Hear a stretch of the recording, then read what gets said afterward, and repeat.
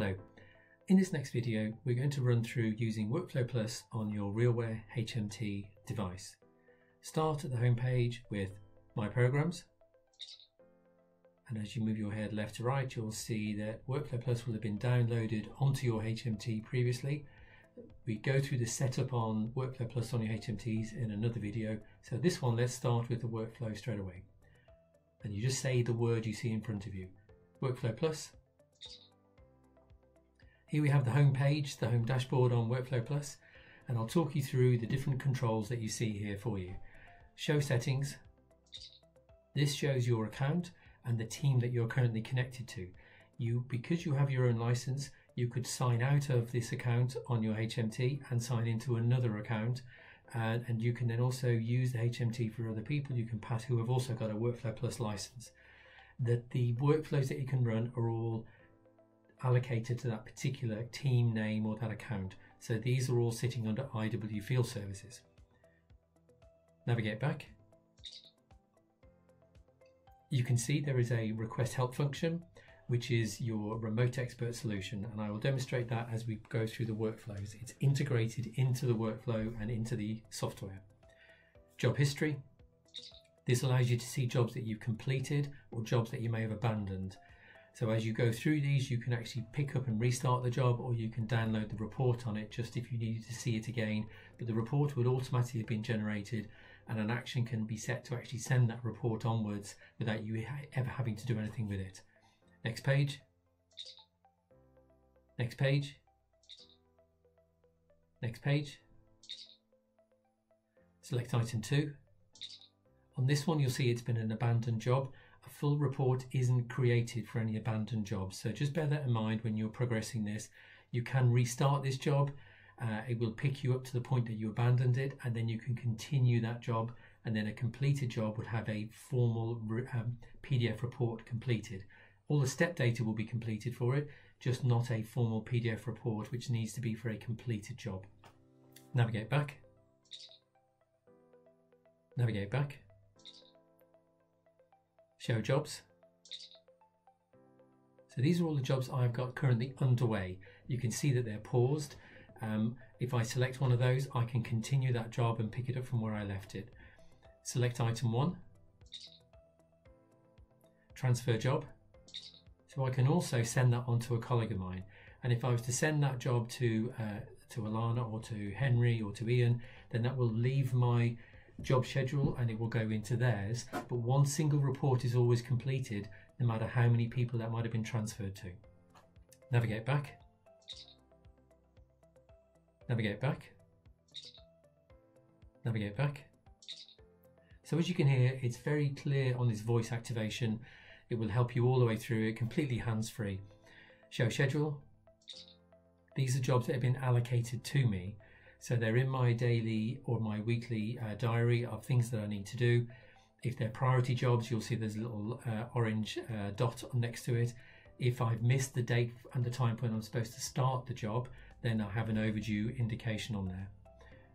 Navigate back. I can also start a job by scanning a QR code.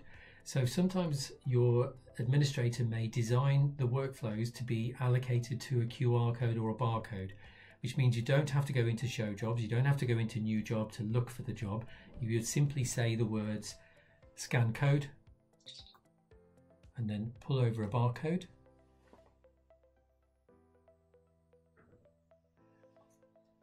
And as you can see, I've just scanned that barcode and it starts the job automatically from it.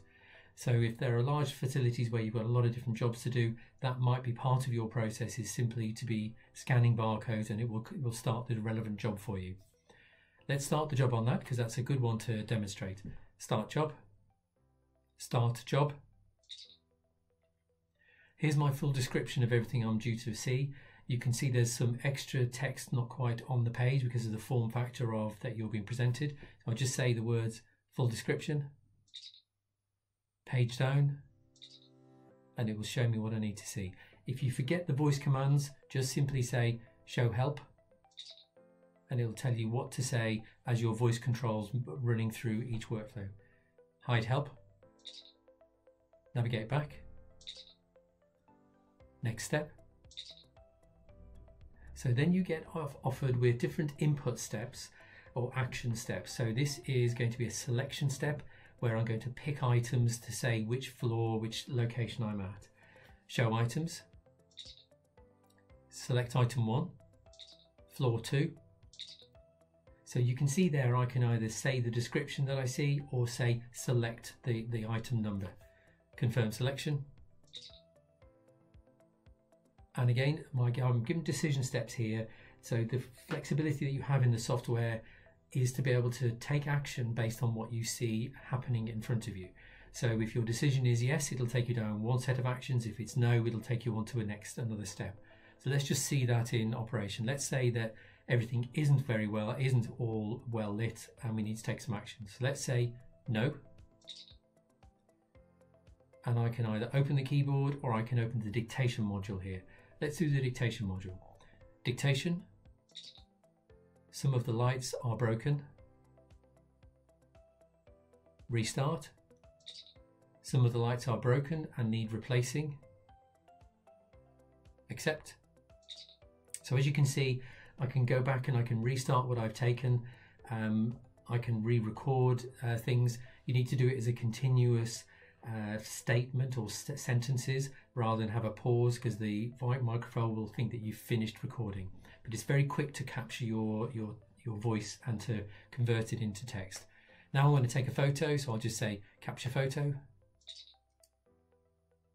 take photo, view photos. So this allows you the opportunity to go and take more photos from the same one or to delete the one that you've taken if you feel you, you know there's a better one that you've now taken and that and that you've made a mistake on that one. If not, just say navigate back. Next step. Show items. Now if at this point here I'm not sure quite how to rate it, it doesn't seem to fit any one of these different ratings and I want a bit of guidance on it. I want to show somebody what I'm looking at. If I just say navigate back and then say request help, this is now opening up my remote expert solution that's been switched on and integrated inside the workflow. I can then call any one of my colleagues there and they can then see through my camera. It'll open up the, uh, the two-way communication so we can talk together as well. They can guide you through uh, completing whatever it is that you need, any help that you need. As I'm continuing to talk here, it's just pause the workflow. You don't need to remember where you were at or open up another app and close another app. I'll simply say the words navigate back and I'm back in the workflow where I left it last time. It's integrated inside WorkfloPlus. Show items, select item 3, confirm selection, full description, Anytime you see a few little dots and there's a little bit of text missing, it's just because of the form factor. You just say full description. You can say page up or down if there's more text and it'll talk, it'll show you everything you need to see. Navigate back. Yes. No. Previous step. So I made a mistake on that. I want to change my input. So I'm now going to say yes. So it's asking me just to tell me why I've made that change. So if I just say um, select item one and then say dictation, I made a small mistake. Accept. Okay. The same again, opening up dictation, I could have changed what I was saying in there. I could do a longer sentence you can re-record it and then it will keep that in the report for you to such to show why you went back and made a change. Show items. Select item one. Confirm selection. And I've got videos that can be attached into this. So before I open the videos, I want to see a bit more. So I'll just say again, full description. Navigate back. View video two